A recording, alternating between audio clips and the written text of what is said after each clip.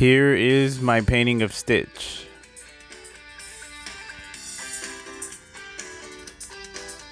And as I usually do, I start off painting the background.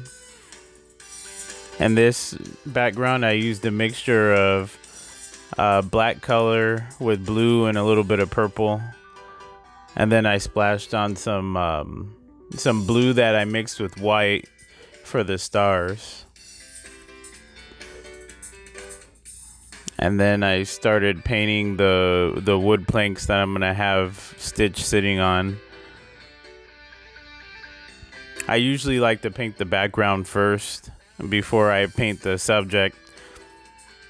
And sometimes that throws me off a little bit on where the subject will be or or I might have to fix the the background a little bit once I figure out where the subject is is going to be, but I generally like to do it that way. And so right here I'm just sketching in Stitch.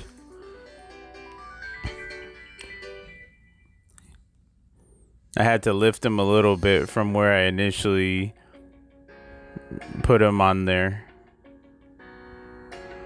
And so you see that little jaw line that I'm that I eventually erased. And I only I only erased it by painting over it.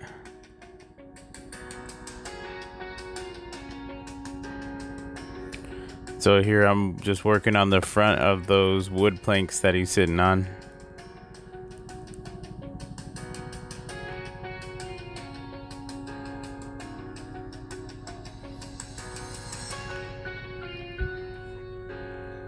just getting all the details in, in so that it stands out a little bit, but not too much, not more than the subject. And getting a little reflective blue and pink light from Stitch's body onto those planks.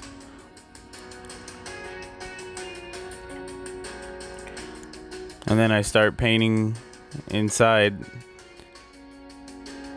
and with a lot of it, I did have to do two layers of paint because the the background, the dark background, did kind of show through the teeth and the the tongue, the mouth, because those are a little bit lighter colors. So I had to put a second layer on those.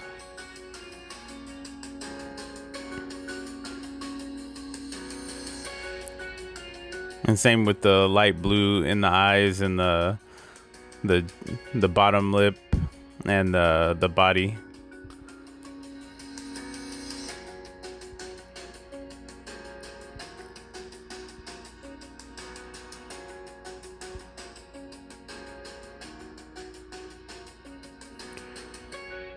That's why when I fill in over dark colors, I I like to mix white in there because white covers uh, covers up the background pretty well. So for the ears, I mixed a lot of white in with um, reds and pinks.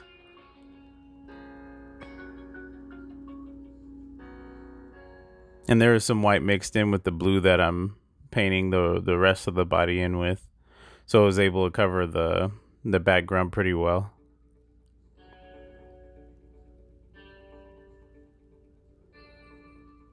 And while I'm painting this, I'm I'm putting light colors where I want the highlights and uh, darkening it where I want the shadows, but I'm not making strong lines around the body because in the end I'm going to use that black paint marker to to make them stand out.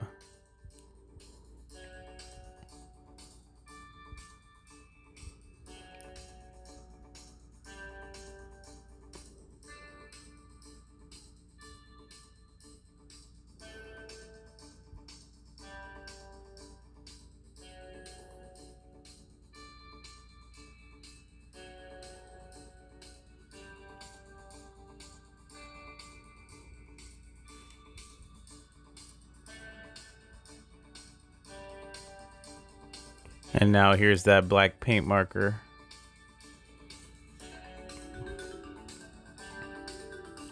And I use the white paint marker too to put those uh, white dots in the eyes.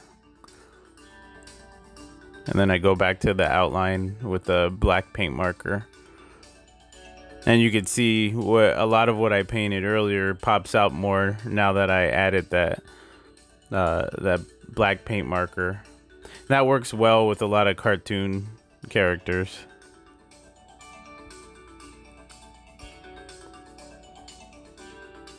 If I'm doing something more of a realism drawing, I won't, or a painting, I won't use that black paint marker like that. But in this case, I, I do, in these cases.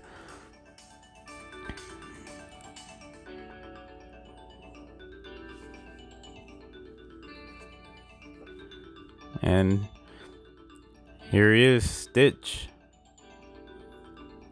If you like the video, give it a thumbs up. Don't forget to subscribe to the channel if you are, haven't already. Thanks for watching.